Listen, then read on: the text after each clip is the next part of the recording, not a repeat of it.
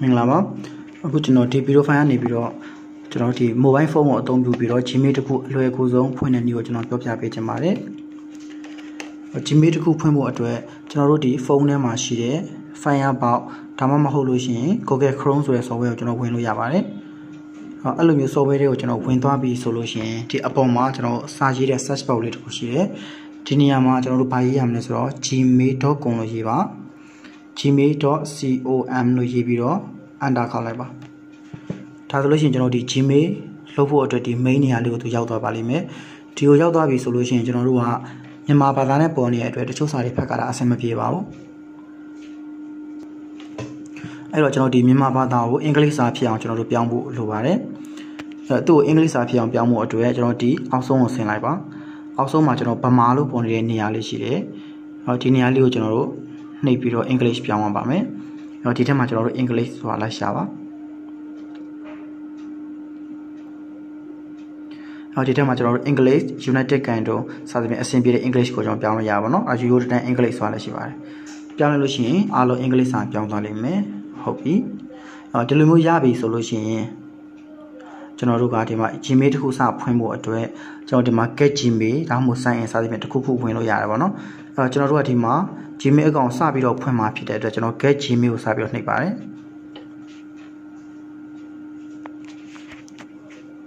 ဒါဆိုလို့ရှိရင်ကျွန်တော်တို့ဖုန်းထဲကိုသူက Gmail application တခုကိုသူကထည့်ခိုင်းပါလိမ့်မယ်။အော်တကယ်လို့ဒီမှာ Gmail ကိုကျွန်တော်မထည့်ချင်ဘူးဆိုလို့ရှိရင်လည်းဒီကနေပြီးတော့ကျွန်တော်တို့ sign in ဝင်လို့ရပါတယ်။ sign in လို့ဝင်လိုက်လို့ရှိရင်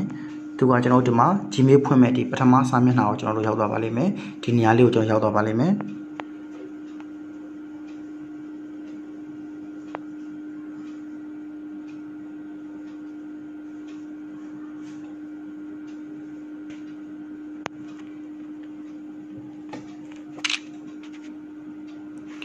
ကျွန်တော်ဒီနေရာလေးကိုရောက်သွားပြီဆိုလို့ရှိရင်ဒီမှာကျွန်တော် email သို့မဟုတ်ဖုန်းထဲမှာလားဒါမှမဟုတ် account ဖွင့်မှာလားတော့သူမေးပါတယ်။ဟောဒီမှာလဲကျွန်တော်ကအဆင်ပြေအောင်ဆိုပြီးတော့ကျွန်တော်ဒီမှာမြန်မာဆိုတဲ့နေရာကိုနှိပ်ပြီးတော့ English ပြောင်းလိုက်ပါမယ်။ဒါဆိုလို့ရှိရင်ဒီမျက်နှာပြင်ကအင်္ဂလိပ်လိုပြောင်းလဲသွားပါလိမ့်မယ်။ Okay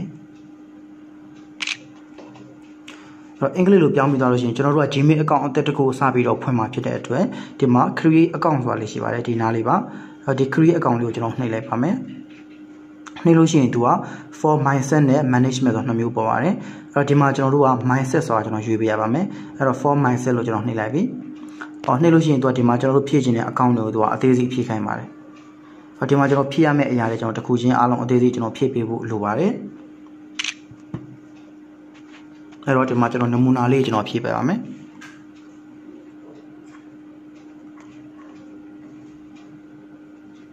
အဲ့တော့ကျွန်တော်နမူနာနာမည်လေးဒီမှာကျွန်တော်ဖြည့်ပြရဖြစ်ပါတယ်အဲ့တော့ဒီမှာကိုယ်နာမည်ကိုရေးပေါ့နော်ကျွန်တော်လိုချင်တဲ့ Gmail နာမည်ကိုယ့်နဲ့ကိုရေးလို့ရပါတယ်အဲ့တော့ဒီမှာကျွန်တော်နာမည်ထည့်လိုက်တယ် user name ဆိုတာကျွန်တော် Gmail မှာသူများတွေကိုလေးစားပေးလို့ရှိရင်သုံးမင်းနာမည်ဖြစ်ပါတယ်အဲ့ဒီမှာကျွန်တော် page နဲ့နာမည်ကျွန်တော်ရေးလို့ရပါတော့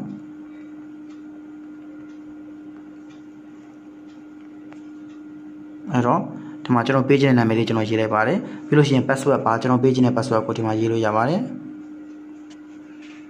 ကျွန်တော်ကကျွန်တော် page နဲ့နာမည်ကျွန်တော်ရေးလို့ရပါတော့ကို page နဲ့ password ကိုရေးပါ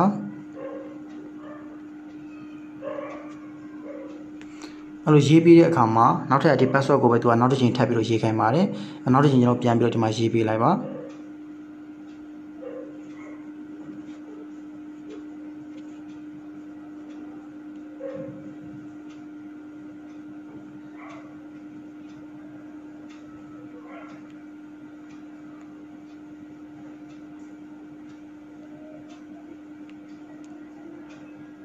ပြီးသွားလို့ရှိရင်ကျွန်တော် next ကိုသွားလိုက်ပါ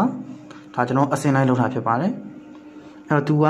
အဲ့လိုအစင်လောက်တဲ့အချိန်မှာကျွန်တော်အပေါ်နဲ့အောက်နဲ့ကျွန်တော်ရေးတဲ့နာမည်မတူဘူးဆိုလို့ရှိရင် तू ရေးလို့မရဘူးဖြစ်ပါတယ်အဲ့တော့ကျွန်တော်နာမည်လေးကိုကျွန်တော်အစင်ပြောင်းပေးရပေးရပါမယ်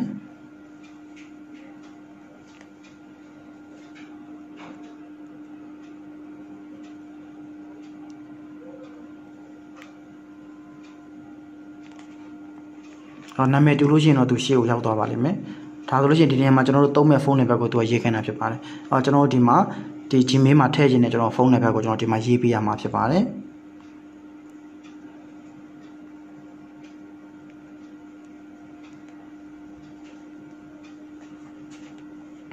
ပြီးလို့ရှိရင်ကျွန်တော်တို့မွေးနေ့မွေးလာမွေးရက်ကိုဒီမှာအတိအကျရေးရမှာဖြစ်ပါတယ်အဲ့တော့ကိုယ်ကယောက်ျားလားမိန်းကလေးလားပေါ့နော်ပြီးရင်ကျွန်တော်မွေးနေ့မွေးလာမွေးရက်ကဘယ်နေ့ပါလဲဆိုတာမျိုးဒီမှာကျွန်တော်ရေးဖို့လိုပါတယ် ပြီးသွားလို့ရှိရင်တော့ကျွန်တော်အောက်မှာ next ဆိုတာရှိပါတယ် next ကိုသွားလိုက်ပါဒါဆိုလို့ရှိရင်သူကဒီကျွန်တော်တို့ရဲ့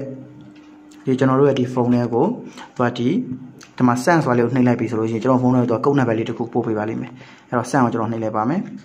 အဲ့တော့ဒီကုတ်နံပါတ်လေးကိုကျွန်တော်ဒီမှာဖြည့်လိုက်ပြီဆိုတာနဲ့ကျွန်တော် Gmail အကောင့်ရပါပြီဒါဆိုလို့ရှိရင်အခုကျွန်တော်စီကိုကျွန်တော်ကုတ်နံပါတ်ပို့ပေးလိုက်ပြီအဲ့တော့ကုတ်နံပါတ်လေးကိုကျွန်တော်ဒီမှာဖြည့်ပြီးတော့ verify ဆိုတာကျွန်တော်နှိပ်လိုက်ပြီဆိုလို့ရှိရင်ဒါ Gmail အကောင့်တစ်ခုရပြီဖြစ်ပါတယ်အဲ့တော့အားလုံးကျေးဇူးတင်ပါတယ်ကျွန်တော်တရားနေပြီးတော့ဒါလေးရှင်းပြပေးချင်တာဖြစ်ပါတယ်ခင်ဗျ